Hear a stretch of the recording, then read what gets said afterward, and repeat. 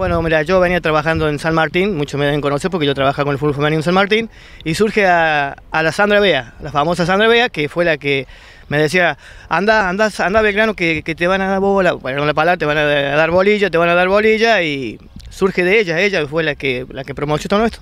Eh, lo primero que se hizo fue convocatoria de, digamos, de chicas para formar el equipo. Para formar un equipo, sí, de 14 al, sin límite de edad. Pero ahora hay chiquitas que van de 11, 12, chiquitas de 12, 13 años, pero yo tengo la idea de hacer dos equipos para formar, porque creo que se, más adelante se va a armar como es primera y reserva en el fútbol de femenino.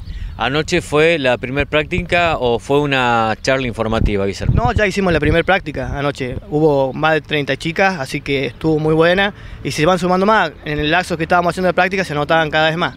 Eh, para hablar un poquito de aquellos que se quieren sumar, ¿qué día practican, en qué lugar y desde qué hora? Eh, estamos practicando martes y jueves a las 20 horas cerca de la eh, cancha sintética del Belgrano.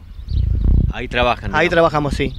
¿Cómo surgió esta idea? Bueno, que más allá de que Sandra te haya inculcado a que pueda acercarte al Club Belgrano para eh, conformar en un futuro el equipo de primera. Y sí, ella, ella fue la promotora, la, la, la, ¿cómo se puede decir? La mentora de esto.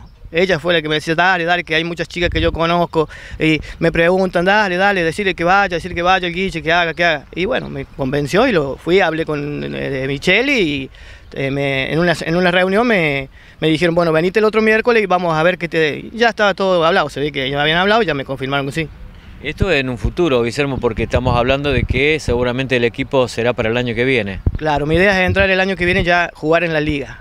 Así que puede ser que se sigan convocando más y vayan más, que se corra la bulla y que no, no deje de existir el fútbol femenino. Eh, sabemos que es una liga bastante competitiva hoy. Sí, está bravo, hay equipos muy rudos. Está San Martín, tiene un equipo muy, muy bueno. Está Estudiantes Río Cuarto, están las dos Uni, que son un, equipo que vienen trabajando de hace mucho y son firmes. Eh, ¿Con quién, quién te ayuda? Digo, vos estás en la parte técnica, en la parte física, ayudante, ¿cómo es? Yo soy el entrenador, soy el director técnico y la que me está ayudando por ahora es Sandra Vega. Somos dos nomás. Son dos. Dos. Por ahora no tenés preparación, preparado físico, no, todavía por el momento no. A la larga iré sumando gente que me quiera ayudar y ya iré armando bien el, el cuerpo técnico. En lo que respecta a lo de anoche, ¿te conformó las expectativas de la cantidad de chicas que fueron? Sí, me llamó la atención. Yo pensé que en, el día que se anotaron fueron muchas, pero ayer fueron casi todas. Eso es, muy, muy lindo para mí. Es decir, ya tenés 32 chicas, ¿no? De ahí a conformar. Ahí hay 32 chicas. Así que ahora voy a intentar darme dos equipos y si hay mucha más chiquita, tratar de hacer una escuelita. Exacto, bueno, la idea de formar una escuela por la, por la cantidad de chicos que hay de menor edad. Sí, hay muchas que tienen 11, 12 años que están en lo que hacía con jugar al fútbol, pero son muy chicas para ya integrar un equipo de primera. Eh, todo esto, bueno, ahora tiene que ver con el tema indumentaria, ¿cómo va a ser? Eso lo hablamos con el club y me va a ayudar con la indumentaria y algunas cosas más. No hay ningún problema con el